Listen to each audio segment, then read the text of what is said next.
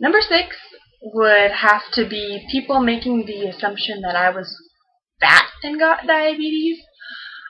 I will admit I was a chubby child, but that is not why I got diabetes. It actually might have been a symptom that I was getting diabetes because there's a difference between you being overweight and unhealthy and that causing your diabetes or just um, starting to get diabetes which makes you unhealthy because your blood sugars all over the place and then you know you, you gain weight or you lose weight.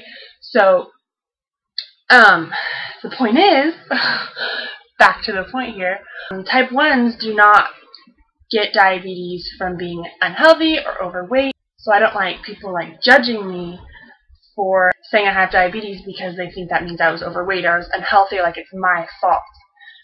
That's basically what it comes down to. I don't like them thinking that it's my fault that I have diabetes because it's totally not.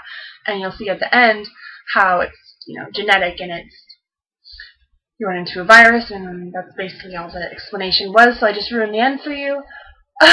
but that's how you get type 1 diabetes, and it's totally, totally not the kid's fault. So thinking that it's my fault and that I was unhealthy um, makes me a little bit um, ticked.